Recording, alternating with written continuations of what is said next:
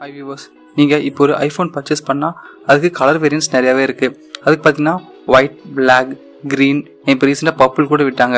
ஆனால் red colour மட்டும் பார்த்தீங்கன்னா ப்ராடக்ட் ரெட் அப்படின்னு சொல்லுவாங்க. அது ஏன் ப்ராடக்ட் ரெட்னு சொல்கிறாங்க அப்படிங்கிறத இந்த வீடியோவில் ஷார்ட்டாக பார்ப்போம். வாங்க வீடியோக்குள்ளே போகலாம்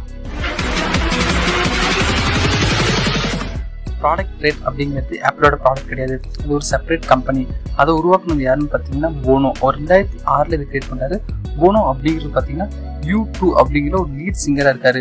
இது வந்து ஒரு ப்ரைவேட் செக்டர்னா இதனுடைய மெயின் எய்மே வந்து எயிட் ஆப்ரிக்கன் கண்ட்ரீஸில் ஹெச்ஐவி எய்ட்ஸை வந்து எலிமினேட் பண்ணுறதுக்காக இவங்க ஃபண்ட் ரைஸ் பண்ணிட்டு இருக்காங்க. இவங்க ரைஸ் பண்ணுற ஃபண்டை பார்த்தீங்கன்னா தி குளோபல் ஃபண்ட் அப்படிங்கிறவங்களுக்கு டொனேட் பண்ணுவாங்க. அவங்க யாருன்னு பார்த்தா mainly for AIDS tuberculosis and மலேரியாக்கு எதிராக வந்து ஃபைட் பண்ணுற ஒரு ஆர்கனைசேஷன் ஸோ இந்த ப்ராடக்ட் ரேட் எப்படி வந்து ஒரு ஃபண்ட் ரைஸ் பண்ணுவாங்க அப்படின்னு பார்த்தா மிகப்பெரிய அதாவது ஹை ப்ரொஃபைல் கம்பெனிஸ் கூட இவங்க வந்து டைப் வச்சுப்பாங்க. ஸோ அந்த ஹை ப்ரொஃபைல் கம்பெனிஸ் வந்து அவங்க ப்ராஃபிட்லேருந்து ஒரு பர்சன்டேஜ் ஆஃப் ப்ராஃபிட்ஸை வந்து இவங்களுக்கு டொனேட் பண்ணுவாங்க. ஸோ இப்படி தான் வந்து ப்ராடக்ட் ரேட் வந்து ஃபண்ட் ரைஸ் பண்ணுறாங்க ஸோ இந்த ப்ராடக்ட் ரேட் வந்து டைப் வச்சிருக்க கம்பெனிலாம் பார்த்தா Apple Coca Cola Bank of America Starbucks Nike SAP Square Hallmark இந்த மாதிரி ஹை ப்ரொஃபைல் கம்பெனிஸ் கூட தான் டைப் வச்சிருக்காங்க. ஆப்பிள் பொதுவாக பார்த்தீங்கன்னா சேரிட்டிக்காக எதுவுமே பண்ண மாட்டாங்க. அவங்க சேரிட்டபிள் கம்பெனிலாம் கிடையாது. பொதுவாகவே அவங்க வந்து ப்ராஃபிட்டபிள் கம்பெனி தான். ஸ்டீவ் ஜாப்ஸ் வந்து ப்ரைவேட்டாக நிறையா சேரிட்டிக்காக ஹெல்ப் பண்ணியிருக்காரு. அவர் இறந்து போகிற வரைக்கும் அது வெளியே தெரியவே இல்லை. ஆனால் ஃபஸ்ட்டு ஃபஸ்ட்டு இந்த ஆப்பிள் கம்பெனி சேரிட்டிக்காக ஒன்று பண்ணுது. அதுக்காக எடுத்த ஃபஸ்ட்டு ஸ்டெப்பு பார்த்தீங்கன்னா இந்த ப்ராடக்ட் கூட ஒரு டைப் தான். பூனோ பொதுவாக பார்த்தீங்கன்னா ஸ்டீவ் ஜாப்ஸ் கூட ரொம்பவே க்ளோஸ் தான். நைன்டீன் எயிட்டி டூவில் ஸ்டீவ் ஜாப்ஸ் வந்து சான் ரெமோ டியூப்ளெக்ஸ் அப்பார்ட்மெண்ட்டை வந்து விற்கிறாரு அதை பார்த்தீங்கன்னா போனோ தான் வாங்குறாரு. ஸோ டூ தௌசண்ட் ஃபோரில் பார்த்தீங்கன்னா ஆப்பிள் வந்து போனோ கூட ஒரு டைப் பண்ணுறாங்க அதாவது ப்ராடக்ட் ரெட் கிடையாது. அவங்க தனியாக ஒரு டைப் பண்ணுறாங்க ப்ராடக்ட் ரெட்லாம் வரதுக்கு முன்னாடியே. ஸோ அந்த இதில் பார்த்தீங்கன்னா அந்த கொலாபரேஷனில் பார்த்தீங்கன்னா ஒரு ஸ்பெஷல் ஐபாட் கிரியேட் பண்ணுறாங்க அது வந்து special edition U two iPod அது இன்பில்ட்டாகவே பார்த்தீங்கன்னா அந்த யூ டூ அதில் இருக்கிற எல்லா ஆல்பம்ஸும் உள்ளே இருக்கிற மாதிரி அவங்க அதை ரிலீஸ் பண்ணுறாங்க ஸோ இந்த மாதிரி நிறையா டைப் அவங்க கிட்ட இருந்தனால போனோ வந்து ஆப்பிள் கூட ஈஸியாக அப்ரோச் பண்ண முடிஞ்சது. ஸோ போனோ ஃபஸ்ட்டு ஸ்டீஜஸ் அப்ரோச் பண்ணுறப்போ அவர் அக்செப்ட் பண்ணாலும் ஆனால் ஸ்டீஜஸ் கிளியராக ஒன்று சொல்கிறாரு அந்த ப்ராடக்ட் லோகோ வந்து ஆப்பிளோட ஸ்டோரில் எங்கேயுமே நாங்கள் போட மாட்டோம் அப்படிங்கிறத அவர் கிளியராகவே சொல்கிறாரு ஸோ சில டேர்ம்ஸ் அண்ட் அக்ரிமெண்ட்ஸ்க்கு அப்புறம் ரெண்டு பேருமே ஒத்துக்கிறாங்க.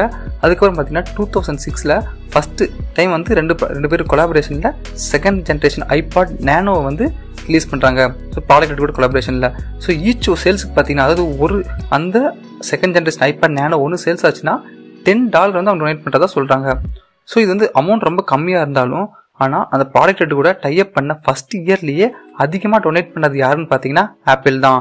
ஸோ இதுக்கப்புறம் பார்த்தீங்கன்னா அடுத்த ஒரு டுவெல் இயர்ஸில் பார்த்தீங்கன்னா ஒரு டசன்ஸ் ஆஃப் வந்து ப்ராடக்ட் ரேட்டோடைய ப்ராடக்ட்ஸை வந்து ஆப்பிள் வந்து ரிலீஸ் பண்ணுறாங்க ஈவன் பார்த்தீங்கன்னா ரெண்டாயிரத்தி ஏழு ஜான் நைனில் பார்த்தீங்கன்னா ப்ராடக்ட் ரேட்டு கிஃப்ட் கார்டு கூட ரிலீஸ் பண்ணுறாங்க அந்த கிஃப்ட் கார்டு வச்சு ஐடியூன்ஸும் நீங்கள் பர்ச்சேஸ் பண்ண முடியும். அந்த மாதிரி சொல்லி கிஃப்ட் கார்டு வரைக்குமே பண்ணுறாங்க அதேமாதிரி டூ தௌசண்ட் லெவனில் பார்த்தீங்கன்னா ப்ராடக்ட் ரேட் ஆக்சசரிஸை அவங்க ரிலீஸ் பண்ணுறாங்க ஸோ இந்த மாதிரி ரிலீஸில் நீங்கள் எதாவது வாங்கினா அதில் டென் பர்சன்டேஜ் வந்து அவங்க ரேட் பண்ணுறதா சொல்கிறாங்க ஸோ ஒரு எக்ஸாம்பிளுக்கு ஒரு ஐபேட் கவர் ரெட் லெதரில் நீங்கள் வாங்குனீங்க அப்படின்னா ஃபோர் பாயிண்ட் எயிட் டாலர்ஸை வந்து அவங்க டொனேட் பண்ணுவாங்க.